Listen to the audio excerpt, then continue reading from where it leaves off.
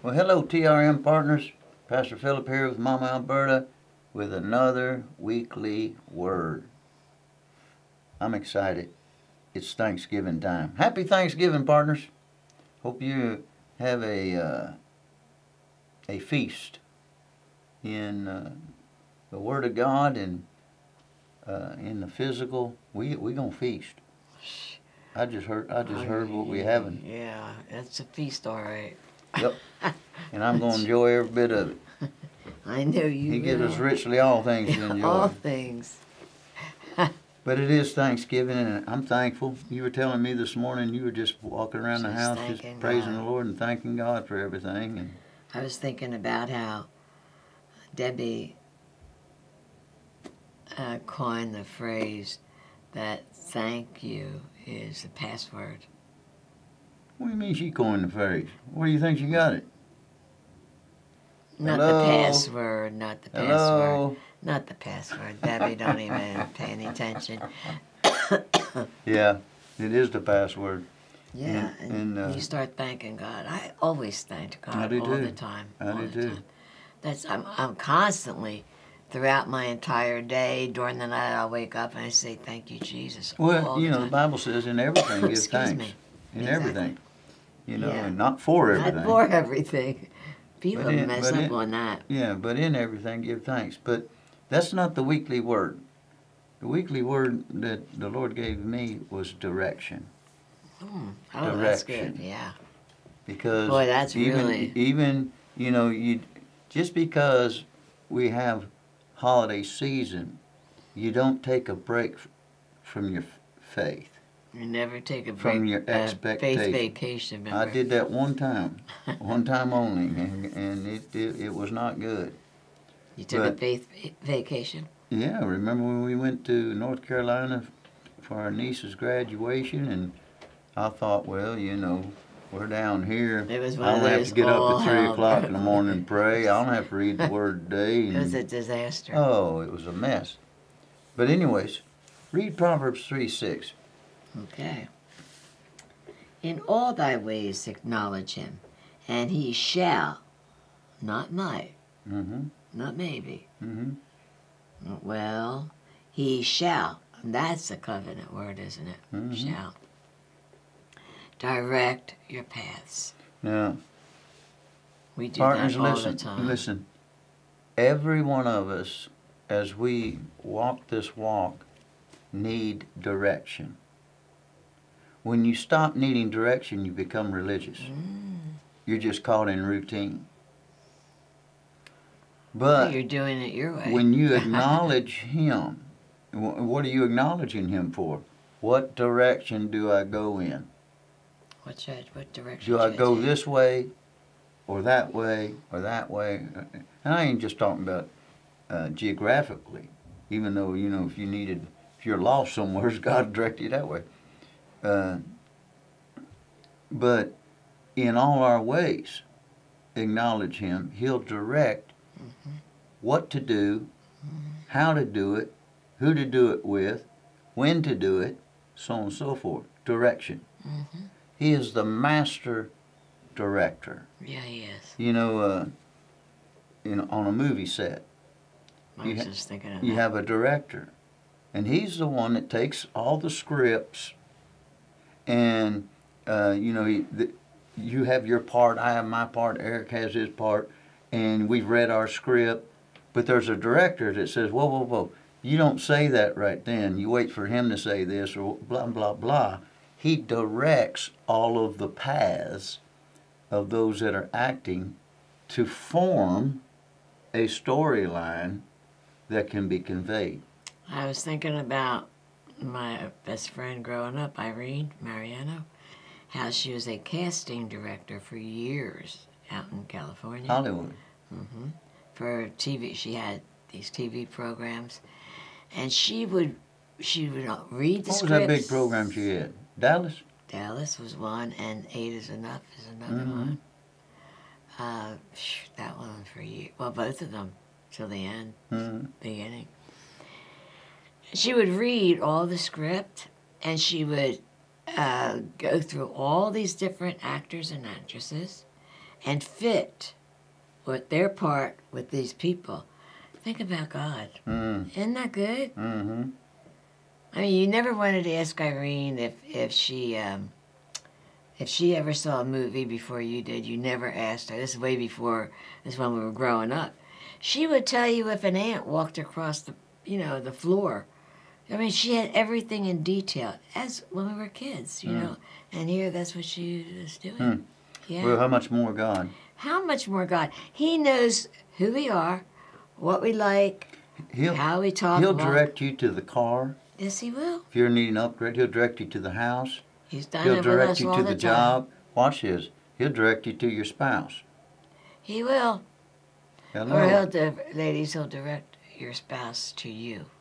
Now, Proverbs Well, six, Proverbs sixteen, and uh, verse number nine. Now, hon.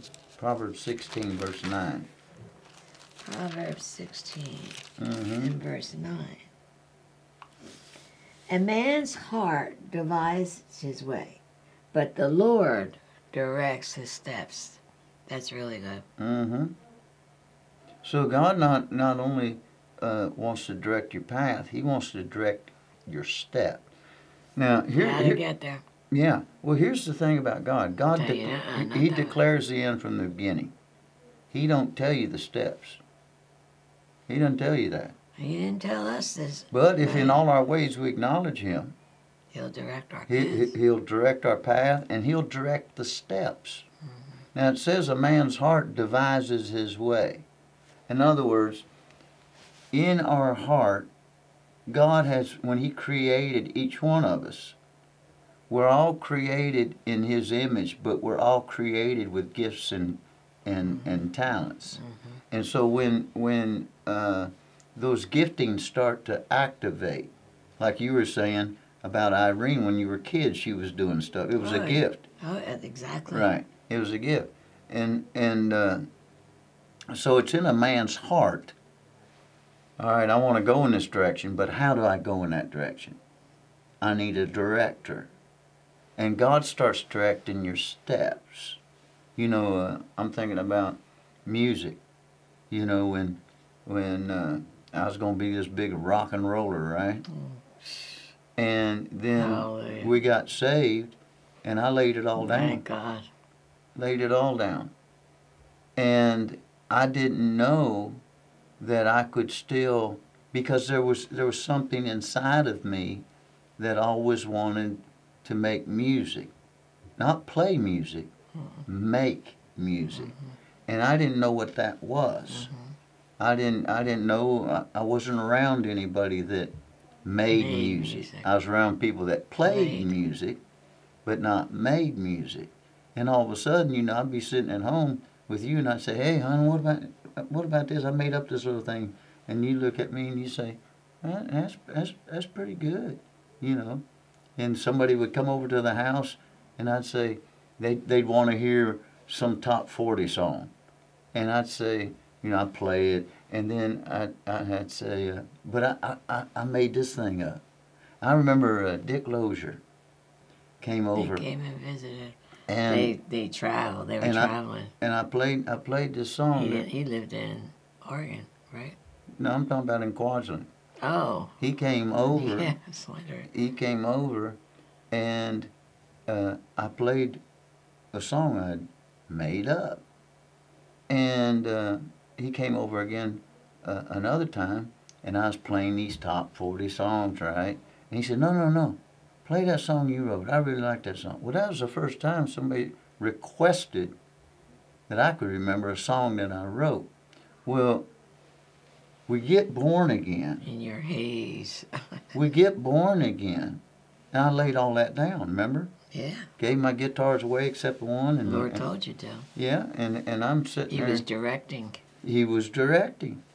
He was getting me away from the electric guitars at the moment to where I just had an acoustic guitar and uh, and and then I didn't want to play it. I just wanted to read the word, go to church. I didn't know what was going on. But then uh, You we were in a it. We, we were in, we were in church. We were in church that had this whole worship team, and I'd never seen anything like that. And the guys up there had electric guitars, drummers up there with a full drum set, and I mean they're going they're going to town. I'm like, wow, I didn't know you could do that. Then uh, uh, my old Cub Scout leader found out I got saved, was visiting Wilmore again, and went by my mom's house, and mom told him where we lived. They came out, and their son was into Christian music. I didn't even know there was such a thing. Remember that? turned us on to all. And he gave me that Christian music uh, magazine. And uh, Is that when we discovered Carmen? yeah, yeah, and and We were uh, talking about him last week. yeah, and so God's directing, God's directing, and then you know here it is, uh, 33 years later, uh, probably nearing 500 songs now. Uh, some songs that will never ever people will never hear. Uh, you know, I just I write them and so on and so forth, and and some of them are just personal. Some of them, like like the song I wrote for you at our uh, wedding renewal. You know, I'm never gonna sing that again. That I know of. Uh, but God was directing. It's a good song for for weddings, though. But what I was trying to do, what I was trying to do, remember when I was trying to put that a band together? Because I, I saw that vision. Do I remember? And, you know, any any musician in, in these churches that we were going to, I'd invite them over to the house, and they, they liked the music that I was writing, but it, nothing was right. Nothing. They it was always, right. it, it was Good, none of always them were right. conflict and you know this and that and I think that one that one gal told me I need to change the lyrics you know and all and I said whoa whoa whoa, whoa you, you know Most we of them gonna ch- we serving gonna change the lyrics you you ain't gonna be singing them so anyways uh, but the Lord kept directing the Lord kept directing Mhm. and uh, He never directed you to any of those people. You always. I was trying to do it That's right. I was trying to do it without the director That's right. and and it's just you know, faith without works is dead. You know, that's what I was thinking. I was just young. And uh, I wasn't operating in wisdom. Go go to Ecclesiastes ten ten and, and look at that, hon. Because partners, direction is so vital for your life. But now listen, you gotta be able to follow directions. You know, I was putting those faucets in in, in, in, in the bathroom, right? Okay. Well, you know, after a while I had pulled the directions out. Well, thank you. That's why it took Right. so long. No, it, Yeah. those directions had a step. One, step two, step three. It, my steps were being directed, Uh-huh. right? Thank you. And when I when I followed the directions, made it easy. we have water, right? Jeez. Now, if, if I'd been working for prophetic plumbing, Uh-uh. they'd have lost money on that job. They, they sure would have. Sorry, sorry, guys. read, no, read, thank God. read Ecclesiastes ten ten. Okay. It says, if the iron be blunt, and he do not wet the edge, then must he put more, put, wait a minute, then must he put to more strength. But wisdom is profitable to direct. I It's know- talking about it's talking exactly about a sword. It's talking about an axe. If if the edge is dull and it hadn't been sharpened, then you're going to have to use more strength to cut through versus if if if you kept it sharp, and it and, and it compares that to wisdom.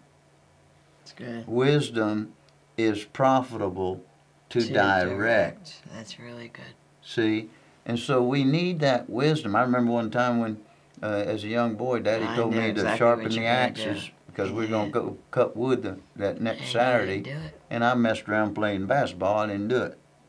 And we got out there, and boy, he took his axe and uh, he he swung it, and it didn't do nothing much. And he he swung it again, and then he looked at the edge, and he popped me upside my head. Said, "What's that?" Had to stop Yay. Had to stop and sharpen the axes. Right a then. lot of work. Once once you do that, once we did that, then the axe does what it's designed to do. You don't have to use a whole lot of strength. Well, when you're, you're operating outside of wisdom, Mm. and you're just operating in natural wisdom, yeah, there's some natural wisdom. Well, I can figure that out, you know, and, and so on and so forth. Uh, matter of fact, uh, last night I was up underneath the sink, and I needed I needed you, and I hollered Alberta, and and you was way off in the other room, and I hollered loud Alberta, and you couldn't hear me. I'm like man, and I'm laid on my back underneath that sink. How am I going to stop this thing from? And I looked up and I said this. I said, Lord, I need I need some help here. Thank you. I looked up and, and through the hole where I put the faucet out, I could see what what I needed to stop, and I just took a tool and stuck it through there to hold it in place, and then fixed what I needed to do right there. It was just wisdom to direct. Mm-hmm. You know what I'm saying? Absolutely. And you know to follow a recipe. There's directions. I don't know anything about that. Well, you need to. no, I don't. Those days are over. What do you mean they're over? Yeah, I'm- told me if I got you a kitchen, you'd cook. Oh, honey, I think you dreamt that. I never said that. I've never been into cooking. Now, I've never you're, ever you're, been. you're in- talking before before the Lord. I know exactly what I'm doing. You're talking before You the Lord. You keep saying that, but it's not true. I never had a just. I I like to party because I never I had never had a family. I never had to cook every day. When we got born again, I we never had money that I would cook every day, and so and you know the only Are one you I cook for is my are little you boy. saying, lift, put your hand on this Bible. Put your hand on this Bible. Lift your hand. Go like this. You swear I do.